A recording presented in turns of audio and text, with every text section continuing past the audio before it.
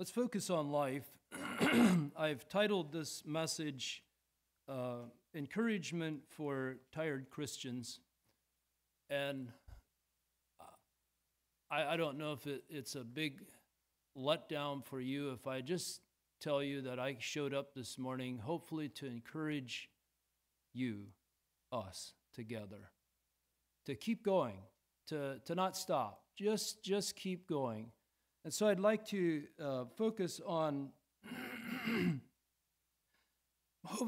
hopefully encouraging us to keep going in the first part, and then maybe think about some ways that we become encouragers and how that, that uh, when, we, when we are Christians, when we are where God wants us to be, it cannot just stay with us. It, it, there, if, we, if it just stays with us, then I think it's fair to question whether or not, we really are in the kingdom. So, for a scripture reading, I, where do you go? I am. Perhaps you think that's where what he always says. I don't know, but uh, I'd like to read 1 Thessalonians chapter five, uh, verse eleven. And the verse eleven is up there in the NIV, I think. I'm going to be reading it in. Sorry, I have something in my throat here reading it in the King James Version, uh, it doesn't quite have the word encouragement in it in the King James Version. But first, just a little bit of background. I, when I read, break into, I always, when I study, I always think it's important to read in context. So read ahead of that, read after it, and well, after it would be another. Uh, the, the second letter of, of Thessalonians to the Thessalonians. But I, in context, Paul is talking to them about um, the destruction and the things that are coming and, and uh, what they need to do, watch and be sober and be not drunken, and on and on and on. And then he comes to down to verse 11 Wherefore, comfort yourselves together and edify one another, even as also ye do.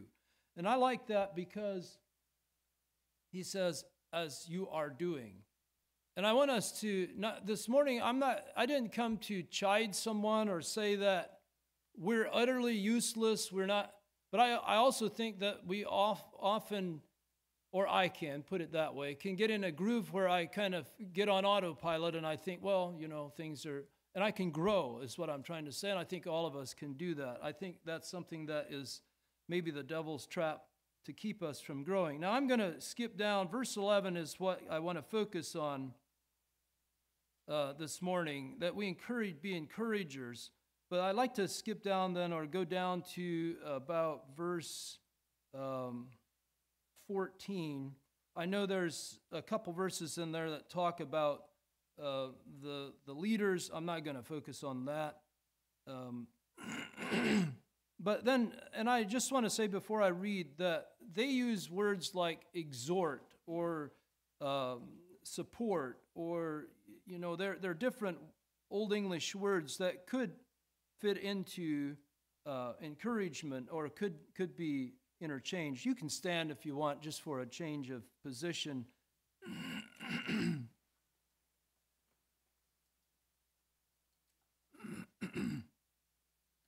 Beginning at uh, verse 14. Now we exhort you, brethren, warn them that are unruly, comfort the feeble minded, support the weak, be patient toward all men.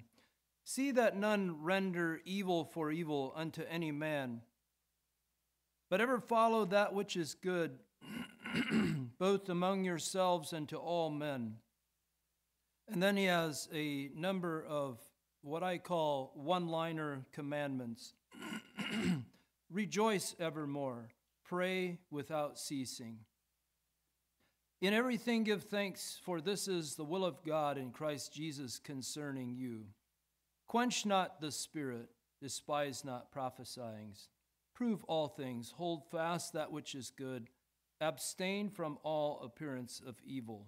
And the very God of peace sanctify you wholly, and I pray, God, your whole spirit and soul and body be preserved blameless unto the coming of our Lord Jesus Christ. Faithful is he that calleth you, who also will do it. You can be seated if you like. I like that. Uh, there's a lot that could be talked about here, but I like that last line Faithful is he that calleth you, who also will do it.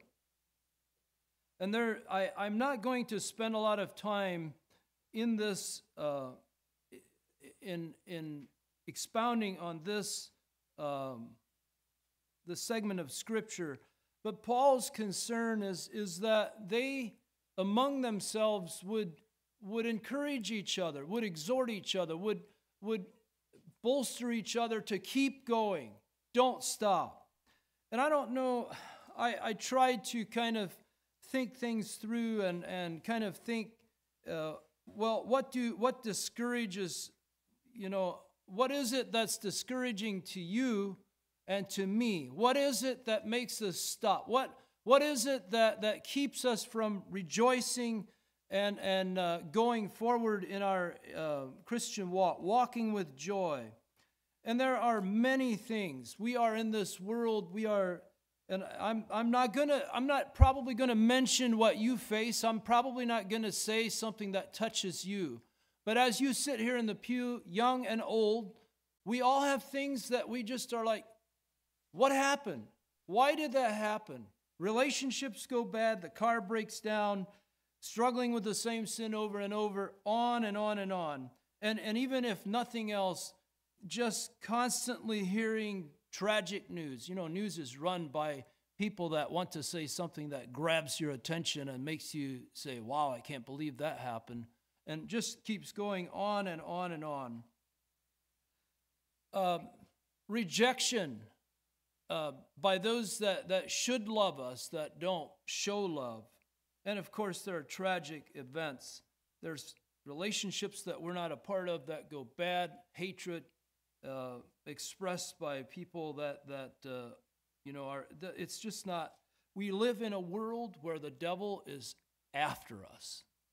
And, and maybe I'll talk some more about that. But we're here to, to I'm here to encourage us that all of these things are going to happen. I'm not saying this list that I gave you, I don't even, that wasn't a list. I just, that kind of came out of my head.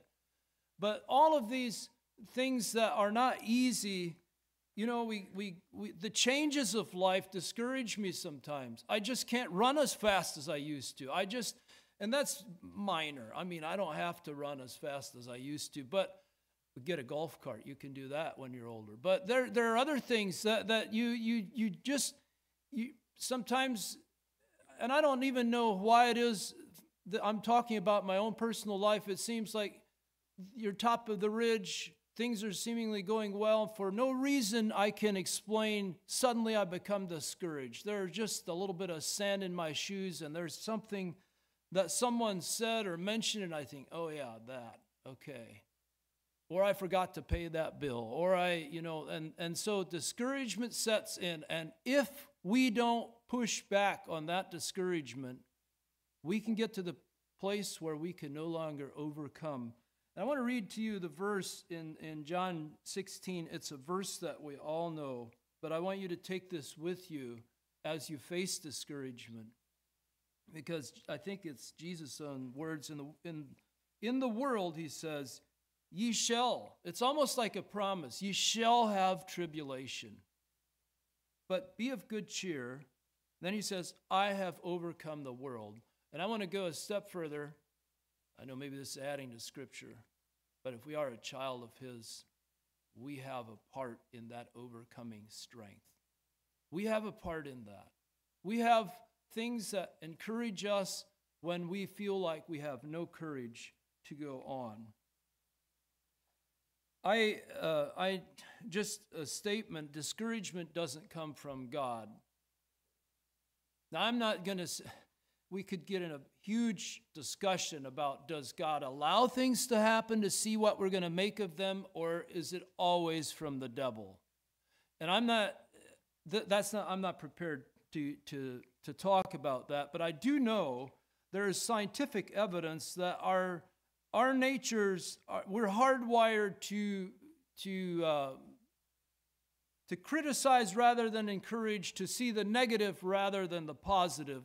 And it really does take the Holy Spirit and it does take God in our hearts to, to get us to the place where when things don't go well, to see the bright side of it, to see the positive things that can come out of it. And God is never unable, even when I feel unable to overcome. Uh, I'd like to make mention of some things. You know, sometimes I, I perceive things as failure, and I think, why, where's God in all this? I don't know if you've ever gotten to this place where there's a tragic event, or there's depression, or there's something that's been eating away at you, or, or someone, and you think, where is God in all this? What, why isn't He just here? And why aren't we just positive and, and encouraging others? But I, I want to just remember, just again, that God has a plan and a purpose for His people. It doesn't matter what. I was in a conversation yesterday for too long, probably with a customer, and they, they said that we were just, they're talking about, I'll say some more maybe, but they, they were talking about the age we're in and they're church going people. And I said, Remember, the best is yet to come. Keep that in mind because even, even if our health goes bad, even if things go off the rails, if we can only stay faithful, God is at the other end of the road. Death is a door that we pass through, and I know all of you know that, but sometimes I need to hear it. That is not the end, that is the beginning, if we stay faithful. And that is what I want to encourage us to do this morning. Stay faithful. Stay faithful. Sometimes I think, well, if, if only I had words to speak. I go to viewings, sometimes I go to, you know, and I think, what am I going to say? How, just being an example, just showing up, just showing people that you care. This, this is a verse, 1 Timothy 4.12. Richard mentioned it Wednesday evening, talking about uh, Paul writing to Timothy, let no man despise thy youth. So he's talking to youth, but he's talking to all of us, I think. But I, this is what I underline but be thou an example of the believers in word, in conversation, in charity, in spirit, in faith, in purity. And that is encouraging. That encourages others. That example that we live encourages others. Sometimes you have to say very little, but it makes a huge difference. And I don't know how you feel this morning sitting here. Maybe you're on top of the mountain. I hope you are, and I hope you're ready to go through this week encouraging others that are in need and noticing who needs encouragement. But some of the, the dark moments that I've had, let's say the Tuesdays in my life, when things didn't work out and I wondered where God was. And some of the things that happened as far as encouraging me were not some great theological long text or just simply someone saying, just don't give up. Just keep going. You have something that is worth hanging on to. Stay faithful. And that's what I want to do this morning. It's so basic, so simple. Stay with it. Don't give up. Don't, don't, don't move to the left or right. And I've been encouraged multiple times in, in many different ways. And I, I just, I, am just going to go down the list because I, I think it's so, it's so normal. We, things happen in such everyday fashion that sometimes we think, well, we're, I went through this week, I didn't encourage one person. But these are observations, and I, I recognize I kind of live in a bubble where I, I see hundreds, sometimes a thousand people a week, it seems like. And, and I, I notice at least a few things that happen. And, and a lot of these folks don't have any idea what they're doing. They don't say anything, they just come and they're there. Now, sometimes I have conversations.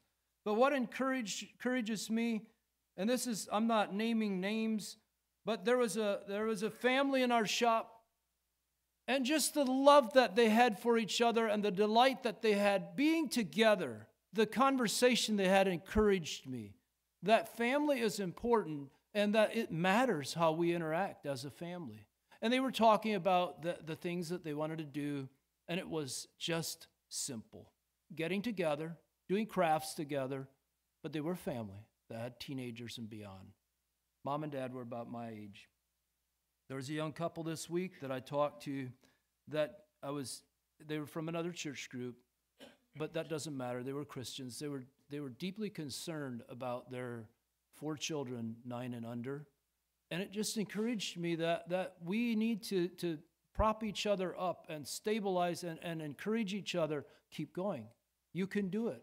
The mother just made the mention, she said, you know, this and that happened in, in their extended family, and I'm not sure if we can do it. And I said, yes, it's possible. Just keep going. That encouraged me. I was encouraged by a couple in their 70s that had been together for 40 years, but they acted like they were dating. They loved being together. They were kind to each other. They, they spoke well of each other. And, and I, I know this couple, they've been in our shop a number of times. And it inspires me every time. They don't tell me that I need to do that in my marriage. They don't tell me anything. They just do their thing, and they're an example to me. Last but not least, my family knows who I'm talking about. Older man comes to our shop quite a bit, and he is such a happy guy. He loves his wife. He came and gave her a basket for her 50th anniversary. And I remember this happened over a year ago. I'll never forget. He was just such a super positive, encouraging, just keep going type of guy. And he, we just laughed. But as he walked out the door, this was at the end of July, he said, Have a happy August. And we thought, Oh. but you know what? Every time he comes, he encourages me not because he gets after me and tells me, you know, half a dozen things I've missed the mark on, but just because he's still friendly, he's still happy, he's still going forward, and he could be long faced. At a very early age, he lost his dad, and he, he could just be sorry for himself, but he's not. And that, that challenges me. Hebrews 3:13. We could go verse after verse, and I, am just this is going to be a really. I just want to get really to the point here. But encourage one another daily, as long as it is called today, so that none of you may be hardened by sin's deceitfulness. And I think in the King James, that's the NIV. I think in the King James that says exhort each other daily. It uses the word exhort instead of encourage. But this is what struck me that gripped me, and this is the reason I'm quoting this verse this morning, is because sometimes I walk out of a place and I think, oh, I had this opportunity to tell them, what you're doing is good. Just keep on doing it. And I just missed that opportunity. But uh, this verse says, as encourage one another daily, as long as it is called today. Isn't that just so the devil's way? Just to get me to think that, well, I'll say it next time, or I, I'm just going to be quiet, I'm a bit reserved. And I could have had that opportunity. Well, don't beat yourself up. Be encouraged. There's, it is today. When encouragement is absent from the life of a church, people will feel unloved, unimportant, useless, forgotten. I think every prayer meeting ought to have at least a segment where we pray for each other and we focus on encouraging each other and, and listening to each other. We need more Barnabases in, uh, in our day. He was in Acts 4:36. He was the son of encouragement. I don't think that's quite the way the King James says it. So, what am I saying? Trying to sum this up this morning. You know, as a, a pastor, you, st- you hear this over and over and over. We're in a fight. We're against the world. We are. We have to keep fighting. We have to. We have to, to stand up. And finally, I kind of get this feeling that, and, and I've observed this, that with that type of continually, we are in a fight, we've got to keep fighting. People use sharp words with each other. They, they kind of get after each other, and they think this is their fight to fight. But what am I saying this morning when I say we're in a fight? I'm in trying to encourage us to keep reading our Bible, to keep praying, to lean in harder, to be more gentle, to be more kind. Don't be sharper with your words, be kinder with your words. Our battle is not fought. with sharp words and swords and staves. Sometimes those staves come out of the mouth of those that are supposed to be followers, that are supposed to be encouraging. Let's not do that. Let's be encouragers. We are in a battle, but our battle is not fought with anger or animosity or trying to have the last word or trying to, to, to say it in such a way that, that we're you know, overwhelming and crushing. Let God do that. Let's just encourage. Be the fixer of broken relationships. Keep looking for ways to listen creatively and then respond to those things. That is our battle. Our fight, again, I want to say this and I want to be very clear our fight is not to fight, our fight is fought differently. Our fight is to stay calm and encouraging no matter where we're at in life. That is our call, our call to action. Now, I'd like to just move on a little bit. Who's qualified to encourage and how do we encourage? And I, if every one of you had a chance to speak, you would all say something that would be very valid and valuable. And it would be something that someone has done for you that has encouraged you to keep going. And then you focus on that. And we have different gifts. So it's qualified. I'm going to say this if you're a Christian, you're qualified to encourage other Christians. You don't need a pulpit, you don't need a special ordaining. You just really need to feel the hand of God on your shoulders and say, I have something to offer to the world. Some kind of, I mean, I don't know how you feel, but some this is a give and take. Sometimes I need encouragement, and sometimes I need to be willing to give encouragement. But anyway, I, I, I'm going to say who is qualified in the kingdom of God? All those who are attached to the vine and have life giving salvation flowing through them are qualified to encourage. But I noticed some things that, that happen, and I, I let me just mention this briefly. Jesus came, and what did he do? He went to the beggars, he went to those that had diseases, he went to the down and outers of their, the society that he was in. The scribes and Pharisees were unable to encourage, or it seemed like it, and they were almost jealous of Jesus. Why was that? because he had an attitude of humility and they didn't. And that often cuts us off. We cannot encourage with pride in our hearts. We, we just cannot. And it, it, if they were jealous, they were unable. I remember, and some of you probably remember this, when uh, I, I think it was Phil Beachy that had some years back a topic on home and marriage and he he had a chart up there. I still have this somewhere on my computer. And at the top of that pyramid, there was he was talking about marriages and marriages that can give. And and when you talk about marriages, you're talking about teamwork. Uh, it, it well, let me just say this. Marriages that sizzle were at the top. And he said, those are the marriages that can actually give. This morning, I'm not necessarily focusing on marriage, but I, I would just say this Christians that have a, a good connection with God, I'm going to say a connection that sizzles, they're able to encourage others. Then they have something to give. And I'm, I'm, I don't want to discourage anyone by saying that because sometimes I beat myself up and I think, why didn't I connect? Why didn't I encourage? Well, let God and the Holy Spirit guide that. It has been said, I, psychiatrists have said that, and we know that the military, courage, if we have enough courage, we can encourage. By constantly moving out of our comfort zone, we train ourselves to, to it strengthens our hand in sizing up situations and being there to encourage. But I want to say something else along with that. Connect your mission, your purpose with your encouragement. And I'm saying this because I look at this, even this small crowd this morning, and a lot of you have had different experiences than I did. You've been different places than I have been.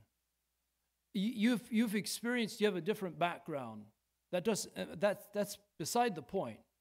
the family of God should come from diverse backgrounds. It should. And, and so, but I'm, I'm saying this connect your, the reason you encourage with your purpose in life and, and maybe make it a mission. And, and what I'm saying by that is often people that have encouraged me in certain areas, certain junctures, sometimes critical areas, they have a story to say. And I'm, I'm trying to flip this around. What God mean, what God, what the devil means for evil, God means for good. And sometimes those stories that have, that they have, they now are using to encourage me and other people. If you've lost a loved one, you have some, some experience. I've lost people. Yes, I have. But I, I haven't lost a mom and dad yet. I haven't lost a sibling yet. And sometimes, uh, let me just move on. There are others that have, that have uh, experienced accidents. There are others that have uh, just so many, a variety of, of experiences. And Turn that into a mission to encourage instead of becoming bitter. Use that as your platform to, to bless other people and saying, I know what you're going through. I know how that feels. I remember what happened, but keep you keep going. Even sometimes, I'll just say this, sometimes I'm so blinded by my whatever depression or uh, not depression, I'm not I don't feel like a depressed person, but just things happen that I can't think quite straight, if you want to call it that. And I need someone to say, yes, this is the way, keep going. And we can, you can be there for that. The best encouragers have a story that may not be the best or the most glossy or glamorous story, but that becomes their strength, and that is how they encourage people. One more thing, well, one more thing, I shouldn't say it that way.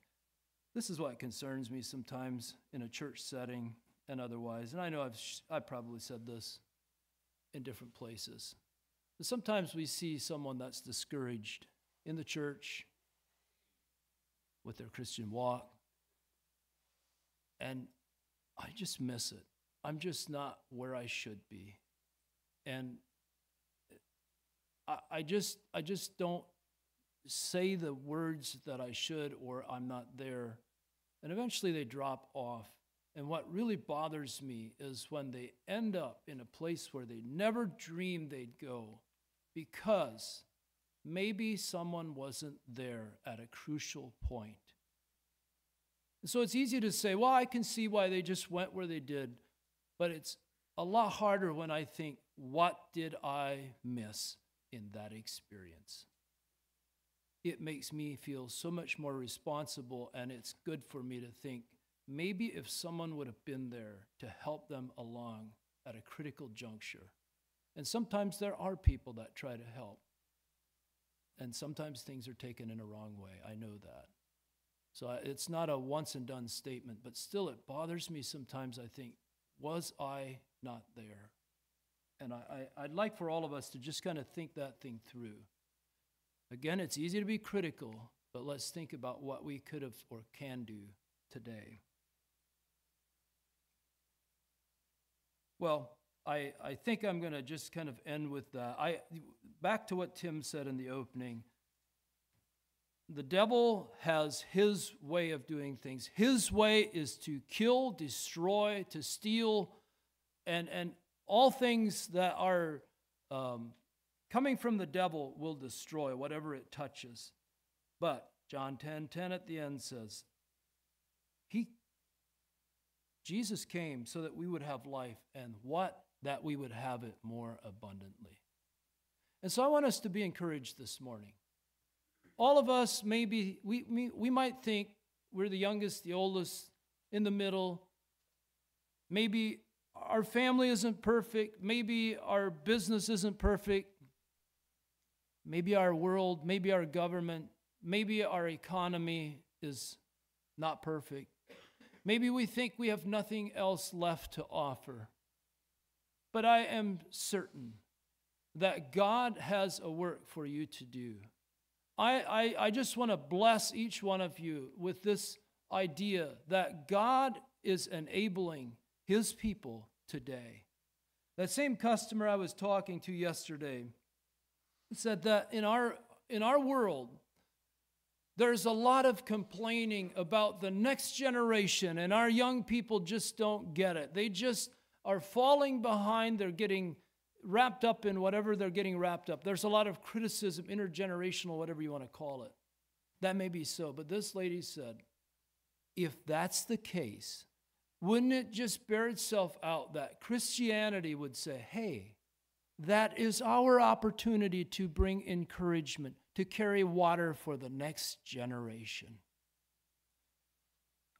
I know it's hard to understand sometimes people do this to you or to us, but at that very moment, they need more encouragement than ever before.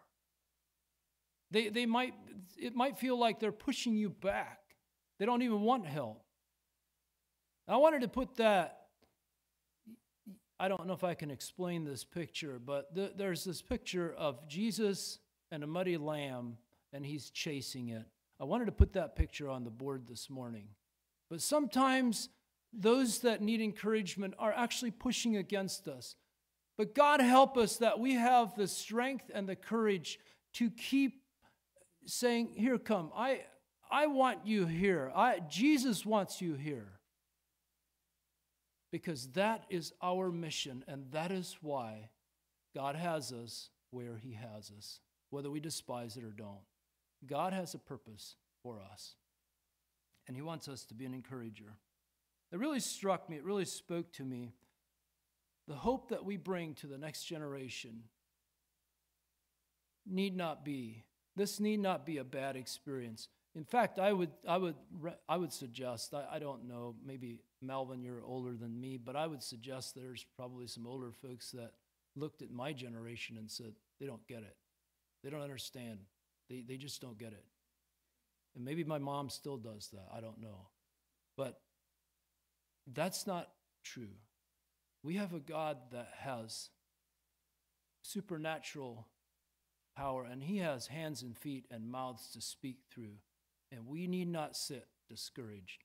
Be encouraged to continue on this morning. Keep going. If you're not discouraged at all, there's nothing in your life that seems to hold you back, then just know that that's God's call for you to be an encourager. Let's stand and pray.